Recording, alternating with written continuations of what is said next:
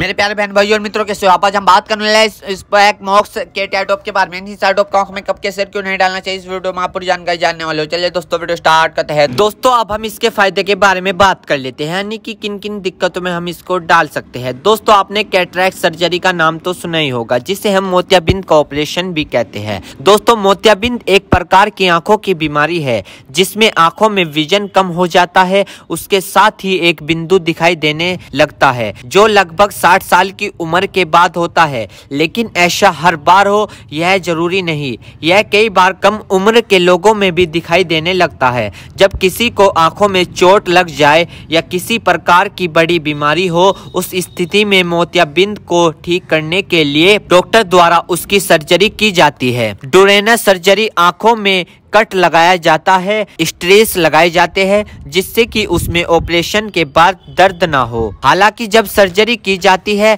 तो सुन करने की दवाई भी उसमें डाली जाती है। तो सर्जरी करते समय तथा कुछ समय तक दर्द नहीं रहता, लेकिन जब इस दवा असर खत्म हो जाता है तो आँखों में तेज दर्द होना, सूजन आना, लालपन होना, कुछ इस तरह की अन्य प्रकार की समस्या होती है, और इसको ठीक करने के लिए ये ड्रॉप दी जाती है। यानी कि अगर आपको ये दिक्कत होती है तो इन सभी को ठीक करने के लिए ये आई ड्रॉप डॉक्टर द्वारा दी जाती है।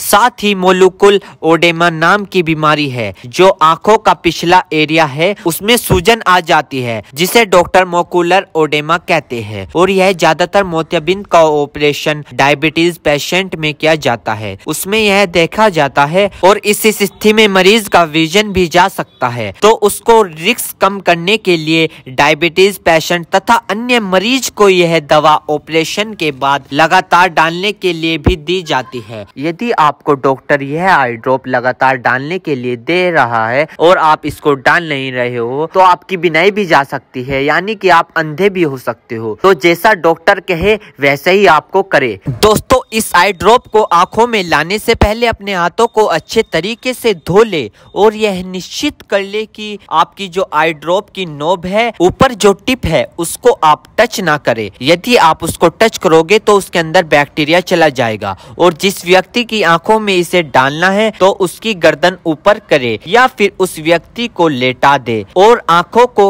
नीचे से पकड़कर पूरा खोले और इस ड्रॉप को आँखों में डाले और फिर कम से कम उसकी आँखें दो से तीन मिनट तक बंद रखे, जिससे कि उसको बहुत अच्छा रिज़ल्ट मिल सके। इस आई ड्रॉप को आप दिन में दो से तीन बार भी डाल सकते हो या दो दो बूंद एक बार भी डाल सकते हो। और इसके अलावा जो आपके डॉक्टर आपको सजेस्ट करे, यानी जितनी आपको डालने को बताए, उस प्रकार भी आप इसको डाल सकते हो। और दोस्तों, इसी के साथ साथ आपको एक बात विशेष रूप से ध्यान रखनी है, किसी भी प्रकार की आई ड्रॉप बिना डॉक्टर की सलाह के नहीं लानी चाहिए क्योंकि आँखें है तो रोशनी है, जान है तो जहाँ है, वरना सब मिट्टी समान है। दोस्तों, अब हम इस आई ड्रॉप के साइड इफ़ेक्ट के बारे में बात कर लेते हैं। वैसे तो इसके कुछ खासकर साइड इफ़ेक्ट नहीं है, फिर भी सामान्य तौर पर कुछ ऐसे साइड इफ़ेक्ट देखने को मिल सकते हैं। जैसे कि आँखों में जलन आ सकती है, एकदम से सूखापन आ सकता है, चिपचिपी आपकी आँखें हो सकती है सर दर्द हो सकता है नोजिया हो सकती है,